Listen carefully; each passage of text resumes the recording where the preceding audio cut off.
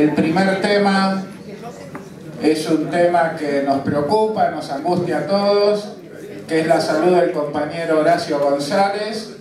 Le voy a pedir a Ricardo Gené que nos comente las novedades que hay sobre su salud.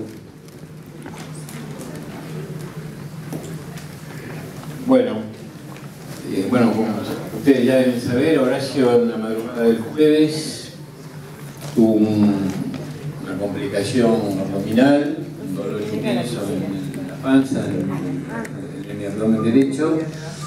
Se internó en la mañana del, jueves en el sanatorio en Chorena y los estudios revelaron que tenía el origen del cuadro doloroso y vómito que tuvo era una afectación de, en las celdas renales y en el espacio donde está el riñón derecho.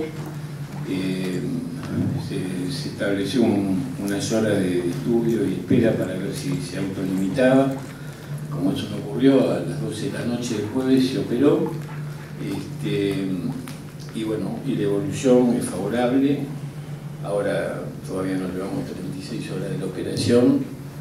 Él está bien, yo estuve hace un rato con él. Eh, todavía sigue con respirador, pero horas se lo están sacando seguramente porque todos los indicadores dicen que, se le va a poder sacar el respirador y los exámenes de hoy son buenos, de manera tal que, bueno, ayer a la tarde se le hizo una hemodiálisis, un procedimiento para mejorar el funcionamiento renal y bueno, por ahora va evolucionando bien, superando un trance complejo.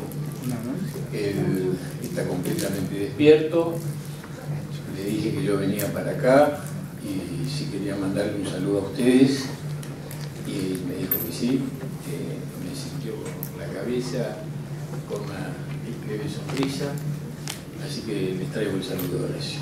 Chao.